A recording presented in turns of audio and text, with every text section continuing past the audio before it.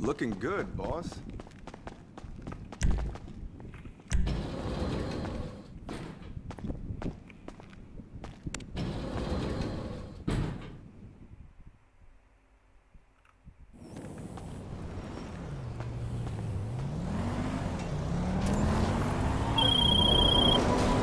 Hey, so you know the O'Neil brothers? Man, those mangy motherfuckers foaming out the mouth. Well, check this. It's your lucky day. Our client runs the sawmill up in Paleto Bay, and he say those clowns are sniffing around the business. Look, he don't want to wait and find out what the fuck they planning. You feel me? Now, the cops, they ain't gonna hit him first, but we will. So take out whichever ugly fucks look like they running the show.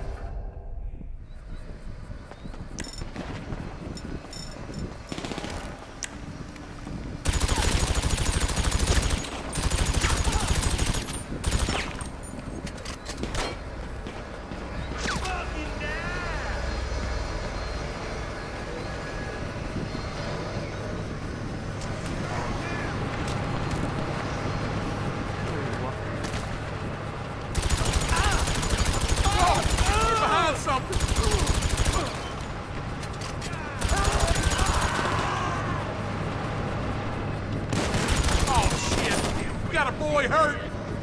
I'm ready.